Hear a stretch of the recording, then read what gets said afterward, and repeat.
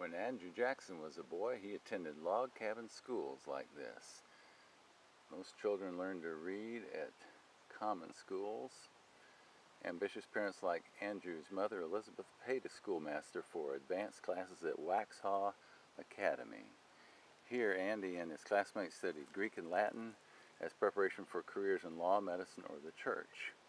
In 1780, the Revolutionary War devastated the Waxhaws. An orphan and wounded ex-prisoner of war by age 14, Andrew Jackson finished school in the nearby New Acquisition District, then moved to North Carolina to study law. There's the schoolhouse.